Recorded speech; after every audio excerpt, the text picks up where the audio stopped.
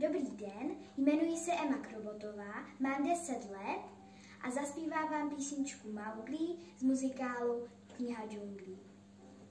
thank you